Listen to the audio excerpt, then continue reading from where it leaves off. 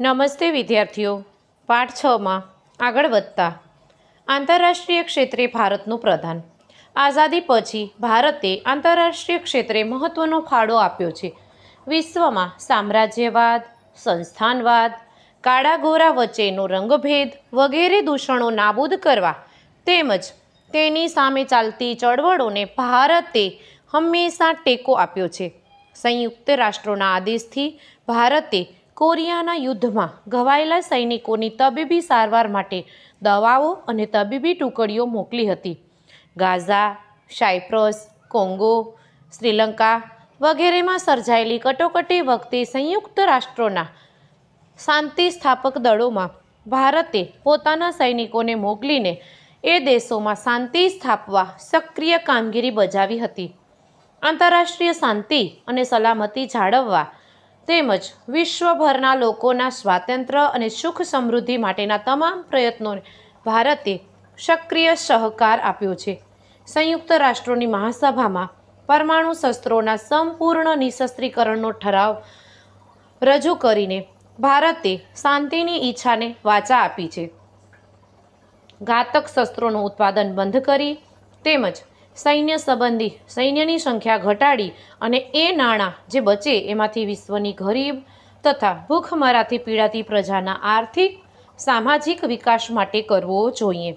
એવી માંગણી હંમેશા ભારતે સંયુક્ત રાષ્ટ્રો સમક્ષ કરી છે. આમ, વિશ્વ શાંતિ એ ભારતની વિદેશ નીતિનો મુખ્ય સિદ્ધાંત છે. વિશ્વ શાંતિ માટે રાષ્ટ્ર રાષ્ટ્ર વચ્ચે સહકાર, વિશ્વાસ અને સમજણનું વાતાવરણ સ્થાપવા માટે ભારતે સતત પ્રયાસ કર્યો છે. હવે વિદ્યાર્થીઓ, આપણે આપણે જોઈએ કે રાષ્ટ્ર રાષ્ટ્ર વચ્ચેના સંબંધો કે ભારતના અન્ય દેશો સાથેના સંબંધો. તો સૌથી પહેલાં આપણે જોઈશું અમેરિકા સાથેના સંબંધો. ભારત અને યુનાઇટેડ સ્ટેટસ, યુએસએના જે પ્રજાસત્તાક દેશો છે, ભારત અને યુનાઇટેડ સ્ટેટસ વચ્ચે અનેક સમાનતાઓ હોવા છતાં ભારત અને યુનાઇટેડ સ્ટેટસ વચ્ચે સંબંધોમાં ચડાવ ઉતાર આવ્યા છે. આઝાદી મેળવ્યા પછી ભારતે કોઈ સત્તા જૂથમાં ન જોડાઈ અને જે બિન જોડાણવાદી નીતિ અપનાવી હતી, એ યુનાઇટેડ સ્ટેટસને ગમ્યું ન હતું. કારણ કે એને એવી ઈચ્છા હતી કે ભારત તેમની લોકશાહી જૂથમાં એની સાથે જોડાશે. હવે જમ્મુ કાશ્મીરની બાબતમાં યુનાઇટેડ સ્ટેટસે પાકિસ્તાનની તરફેણ કરી. પાકિસ્તાનના યુનાઇટેડ સ્ટેટ્સના જે સત્તા જૂથ સાથે અને લશ્કરી સંગઠન સાથે જોડાયું હતું, જ્યારે ભારત બિનજોડાણવાદી નીતિ સ્વીકારી હતી. આમ ભારત અને યુનાઇટેડ સ્ટેટ્સ વચ્ચે સારા સંબંધો ન વિકસ્યા.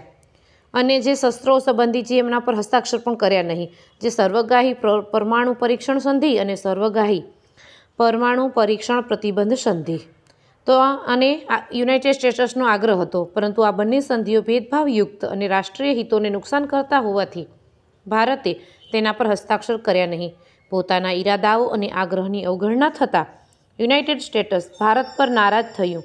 ભારતે જ્યારે પોખરણ રાજસ્થાન ખાતે પરમાણુ અખતરો કર્યો, જે ઓગણીસો ને અઠ્ઠાણુંમાં, ત્યારે અમેરિકાએ તેની ગંભીર નોંધ લીધી અને તેને ભારત સામે કેટલાક પ્રતિબંધો મૂક્યા, જે સમય જતાં હળવા થયા. આર્થિક અને ટેકનિકલ ક્ષેત્રમાં ભારતે અમેરિકાની મદદ મળતી રહી છે. હવે જે ન્યુયોર્કના વર્લ્ડ ટ્રેડ સેન્ટર પર અગિયાર સપ્ટેમ્બર બે હજાર એકના રોજ જે આતંકવાદી હુમલો પછી બંને દેશોના સંબંધોમાં સુધાર આવ્યો છે. અને છેલ્લે જે સપ્ટેમ્બર બે હજાર ચૌદ અને પંદરમાં ભારતના વડાપ્રધાન નરેન્દ્ર મોદી અમેરિકાની મુલાકાતે ગયા હતા અને સંયુક્ત રાષ્ટ્રોની મહાસભાને પણ સંબોધી હતી.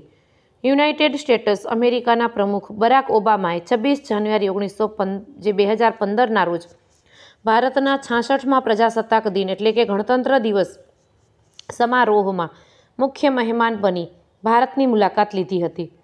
ભારતીય ગણતંત્ર દિવસમાં ભાગ લેનારા તેઓ અમેરિકાના પ્રથમ પ્રમુખ હતા. અમેરિકાના સંબંધો હવે સુમેળ ભર્યા થઈ રહ્યા છે. આતંકવાદના પ્રશ્નોમાં બંને રાષ્ટ્રના વડાઓ ચિંતિત છે. હવે વિદ્યાર્થીઓ, આપણે એવી જ રીતે સોવિયત જે રશિયા એના સંબંધો જોઈએ તો ભારતમાં જે ભારે ઉદ્યોગો સ્થાપવામાં, સંરક્ષણ ક્ષેત્રે સજ્જ થવામાં, સોવિયત રશિયાએ આર્થિક અને તકનીકી મદદ કરી છે. કાશ્મીરના પ્રશ્નમાં તો સોવિયત યુનિયને હંમેશા ભારતનો પક્ષ લીધો છે. સંયુક્ત રાષ્ટ્રોની સલામતી સમિતિમાં કાશ્મીરના મુદ્દે ભારત વિરુદ્ધ જે ઠરાવ ન થાય, એના માટે ઘણીવાર વિટો સત્તાનો ઉપયોગ કર્યો છે. અને કાશ્મીર પ્રશ્ને વૈશ્વિક સ્તર પર ભારતના મતનું સમર્થન છે. આમ ભારત અને રશિયા વચ્ચે ગાઢ મૈત્રી ભર્યા સંબંધો રહ્યા. હવે આપણે ભારતના અન્ય પાડોશી દેશો સાથેના સંબંધો જોઈએ. તો આપણું જે પાકિસ્તાન, જે એક અભિન્ન અંગ હતું અને જે જુદું પડેલું, એવું પાકિસ્તાન કે જે આઝાદી મેળવ્યા પછી તરત જ બંને વચ્ચેના સંબંધો તણાવ ભર્યા રહ્યા. ભારત અને પાકિસ્તાન વચ્ચે ઓગણીસો અડતાલીસ, ઓગણીસો પાસઠ, ઓગણીસો એકોતેર એમ ત્રણ વખત યુદ્ધો થયા. ત્રણે બધી જ વખત પાકિસ્તાનની હાર થઈ. સિમલા કરાર કરાર થયો છતાં પાકિસ્તાન એ કરારનો નિષ્ઠાપૂર્વક અનુસરતું નથી. ઓગણીસો ને નવ્વાણુંમાં કારગિલમાં ભારત પાકિસ્તાન વચ્ચે યુદ્ધ થયું. બંને દેશના વડાઓ પોતાની સમસ્યાઓનો શાંતિમય સમાધાન દ્વારા ઉકેલ લાવવા પ્રયત્ન કરી રહ્યા છે. હવે ભારત અને ચીન વચ્ચે. તો ભારત અને ચીન વચ્ચેના સંબંધોની શરૂઆત ઓગણીસો ને ચોપનમાં થઈ કહી શકાય કે જ્યારે ચીને તેના નકશા બહાર પાડ્યા. ત્યારે એમાં ભારત અને ચીન વચ્ચેની સંબંધોમાં ભંગાણ પડ્યું. અને જે મોટો વિસ્તાર હતો, હા, એ ચીને પોતાનો દર્શાવ્યો. તેથી ભારતે તેનો સખત વિરોધ કર્યો અને બેની સરહદ દર્શાવતી મેકમોહન રેખાનો ચીને અસ્વીકાર કર્યો. આમ મતભેદ ઊભા થયા. ચીન પર, ચીને ભારત પર આક્રમણ કર્યું ઓગણીસો ને બાસઠ અને જે પ્રદેશો એને પોતાના પ્રદેશ તરીકે દર્શાવ્યા, એના ઉપર કબજો મેળવ્યો. ભારતે સરહદોનું રક્ષણ કરવા લશ્કર મોકલ્યું. ચીને એક તરફ યુદ્ધ વિરામ જાહેર કર્યો અને એ જ રીતે યુદ્ધનો અંત આવ્યો. આમ, સમાધાન થઈ શક્યું નથી. છતાં છેલ્લા દાયકામાં ભારત અને ચીન વચ્ચે પરસ્પર સહકાર અને મૈત્રીપૂર્ણ સંબંધો વિકસતા રહ્યા છે. ભારતના વડાપ્રધાન નરેન્દ્ર મોદી અને ચીનના વડાપ્રધાન જીનપિંગ, જે રિવરફ્રન્ટ અમદાવાદ ખાતે સૌજન્યપૂર્ણ મુલાકાત થઈ હતી બે હજારને ચૌદમાં. હવે ભારત અને બાંગ્લાદેશ. તો બાંગ્લાદેશે ઘણો સંઘર્ષ કરી સ્વતંત્રતા મેળવી ઈસવીસન ઓગણીસો ને એકોતેરમાં. એક સ્વતંત્ર સાર્વભૌમ રાષ્ટ્ર બાંગ્લાદેશનો ઉદ્ભવ થયો એ પહેલાં તે પાકિસ્તાનનો ભાગ હતો. એક નવોદિત રાષ્ટ્ર તરીકે ભારતે બાંગ્લાદેશને નાણાકીય, ટેકનિકલ અને ભૌતિક સાધનોની ઘણી મદદ કરી. પણ કેટલીક બાબતોમાં ભારત અને બાંગ્લાદેશ વચ્ચે મતભેદો ઊભા થયા. ગંગા નદીના પાણીનો ઉપયોગ અને વહેંચણી સંબંધે થયેલી ચર્ચાઓ દ્વારા સમાધાન કરવામાં આવ્યું. અતિવૃષ્ટિ, વાવાઝોડું જેવી કુદરતી આપત્તિ વખતે ભારતે બાંગ્લાદેશને પૂરતા પ્રમાણમાં મદદ કરી છે. બંને રાષ્ટ્રો વચ્ચે બે હજાર પંદરના વિવાદિત જમીન વિસ્તાર જે ક્ષેત્રમાં લોકોની નાગરિકતાના પ્રશ્નોનું નિરાકરણ વાટાઘાટોથી થયેલ છે. હવે આપણે ભૂતાન જોઈએ. તો ભારતે ભૂતાન સાથે કાયમી શાંતિ અને મિત્રતાની સંધિ કરી છે, ઓગણીસો ને ઓગણપચાસમાં. ભૂતાને પણ સંરક્ષણ અને વિદેશની નીતિમાં ભારતને વિશ્વાસમાં લેવાનું સ્વીકાર્યું. ભારતે ભૂતાનને સંદેશાવ્યવહાર વાહન વ્યવહાર વિકાસ માટે મદદ આપવાનું સ્વીકાર્યું અને સંબંધો મજબૂત બનાવ્યા. વડાપ્રધાન નહેરુએ ભૂતાનની મુલાકાત લીધી હતી ઓગણીસો અઠ્ઠાવનમાં. ભારતના રાષ્ટ્રપતિએ ભૂતાનની મુલાકાત લીધી હતી ઓગણીસો ને સિત્તેરમાં. ભૂતાનને યુએનનું સભ્યપદ બનાવવા માટે ભારતે મદદ કરી હતી અને તે ઓગણીસો ને એકોતેરમાં તેનું સભ્ય બન્યું. ભારતના ભૂતાન સાથે સંબંધોમાં ક્યારેય તંગદિલી ઊભી થઈ નથી. અને વડાપ્રધાન મોદીએ ભૂતાનની મુલાકાત લીધી હતી બે હજાર ચૌદમાં.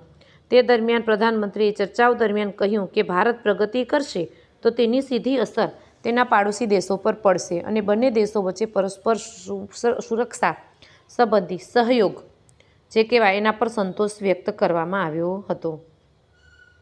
હવે આપણે શ્રીલંકાની વાત કરીએ. તો મિત્રો, શ્રીલંકા સાથે તો આપણા વર્ષો જૂના સંબંધો છે. પ્રાચીન સમયથી જે રામાયણ કાળથી કરીએ, ત્યારથી ઘણા ભારતીયો ખાસ કરીને તમિળ લોકો જે શ્રીલંકામાં ઘણા સમયથી વસવાટ કરે છે અને ત્યાં સ્થાયી થયા છે. તે લોકોના નાગરિકત્વનો પ્રશ્ન. બંને વચ્ચે મતભેદનો મુદ્દો બનેલો. પણ બંને દેશોએ વાટાઘાટો દ્વારા ઉકેલવાનો પ્રયાસ કર્યો છે. શ્રીલંકાના તમિળ લોકોને થતો અન્યાય દૂર થાય અને તમિળ સંગઠનો અને શ્રીલંકાની સરહદ તમિળ સમસ્યાનું સામાધિ, શાંતિમય સમાધાન કરે એવી ભારતની ઈચ્છા છે. ભારતના વડાપ્રધાન નરેન્દ્ર મોદીએ શ્રીલંકાની મુલાકાત વખતે તમિલ પ્રભાવિત જે વિસ્તાર જાફના યાદ રાખજો વિદ્યાર્થી મિત્રો. એની મુલાકાત લીધી. તેર માર્ચ બે હજાર પંદરમાં. હવે શ્રીલંકન તમિલ અસરગ્રસ્તોના પુનઃવસન માટે સત્યાવીસ હજાર જેટલા મકાનો ભારતની આર્થિક સહાયથી બનાવાયા છે. આજે શ્રીલંકા સાથે ભારતના મૈત્રીપૂર્ણ સંબંધો છે. ભારત, નેપાળ. તો નેપાળ અને ભારત વચ્ચેના સંબંધોનો આરંભ બંને દેશો વચ્ચે કરવામાં આવેલી સમજૂતીથી થયો છે. ઈસવીસન ઓગણીસો ને પચાસ એ સમજૂતી મુજબ બંને દેશો એકબીજાના સાર્વભૌમ અને પ્રાદેશિક અખંડિતતાનું જતન સ્વીકાર્યું છે તથા બંને દેશોના નાગરિકોની એકબીજા દેશમાં મુક્ત અવરજવરને પણ માન્ય રાખેલ છે. નેપાળના સામાજિક આર્થિક વિકાસમાં ભારતે ઘણી મદદ કરી છે. નેપાળના ઘણા વિદ્યાર્થીઓ ઉચ્ચ અભ્યાસ માટે ભારત આવે છે. હિમાલયમાંથી નીકળતી કેટલીક નદીઓ નેપાળમાંથી થઈ ભારતમાં આવે છે. ચોમાસામાં તેમાં ભારે પૂર આવે છે અને તેથી ભારતને ઘણું નુકસાન થાય છે. નદીઓના પૂર રોકવા માટે ભારત અને નેપાળ વચ્ચે સમજૂતી થાય એ માટે ભારત પ્રયત્ન કરે છે. પચીસ એપ્રિલ બે હજાર પંદરના રોજ નેપાળમાં પાંચ પોઈન્ટ આઠની તીવ્રતાનો ભૂકંપ આવ્યો. તેમાં આશરે આઠ હજારની આસપાસ લોકો મૃત્યુ પામ્યા. આ કુદરતી હોનારતમાં ભારતે બચાવ કામગીરીમાં નેપાળને મદદ કરી. તથા રાહત અને પુનઃવસનમાં પણ સહાય કરેલી. હવે આપણે જોશું અફઘાનિસ્તાન. તો એની સાથે પણ આપણા સંબંધો મૈત્રી ભર્યા રહ્યા છે. અફઘાનિસ્તાનના નવસર્જનમાં ભારતનો સિંહ ફાળો રહ્યો છે. બાંધકામ ક્ષેત્રે, આરોગ્ય ક્ષેત્રે અને કેળવણી ક્ષેત્રે ભારતનો મોટો ફાળો રહ્યો છે.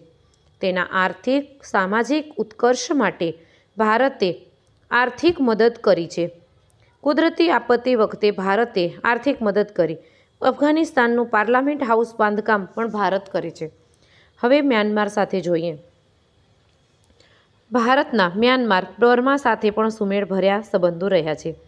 ભારતની આઝાદી પછી મ્યાનમારને સ્વતંત્રતા મળી ઓગણીસો અડતાલીસ. ત્યાર પછી બંને દેશો વચ્ચે મૈત્રી સંબંધો જળવાયા. આઝાદી પછી મ્યાનમારે ભારત પાસે વિકાસ માટે આર્થિક સહાયની માગણી કરી. ભારતે તાત્કાલિક સહાય મોકલી આપી, કારણ કે ભારત મ્યાનમારને આર્થિક રીતે મજબૂત કરવા માંગતું હતું. તો વિદ્યાર્થીઓ, આ હતા આપણા અન્ય પાડોશી દેશો ભારતના, જે પાકિસ્તાન, ચીન, બાંગ્લાદેશ, ભૂતાન, શ્રીલંકા, નેપાળ, ભૂતાન, અફઘાનિસ્તાન અને મ્યાનમાર. આમ જોઈએ તો કે ભારતની જે વિદેશ નીતિ છે તેનું ધ્યેય વિશ્વમાં શાંતિ અને સલામતી જાળવવાનું છે. જોકે પ્રસંગોપાત ભારતને પાડોશી દેશો સાથેના સંબંધોમાં ચઢાવ ઉતાર આવતા રહ્યા છે. છતાં, સહ અસ્તિત્વની પ્રાચીન ભારતીય પરંપરા સબળ હોવા છતાં, પોતાનાથી નાના પાડોશી રાષ્ટ્રોની આર્થિક નીતિને પ્રભાવિત કર્યા વિના પાડોશી દેશો સાથે શાંતિપૂર્ણ અને મૈત્રીભર્યા સંબંધો જાળવી રાખ્યા છે. તો વિદ્યાર્થી મિત્રો, આપણો આ પાઠ અહીં પૂર્ણ થાય છે. આ પાઠના પ્રશ્નો હું તમને પીડીએફ કરીને મોકલી આપીશ. તો જે પ્રશ્નો વૈકલ્પિક વિભાગ છે, એને તમને સરસ અક્ષરે લખવાના છે અને જે પ્રશ્નો આપેલા છે, તો એ પ્રશ્નોનો અભ્યાસ કરી, તેના જવાબ શોધી અને એના જવાબો બાકી નોટમાં લખવાના છે. આવજો.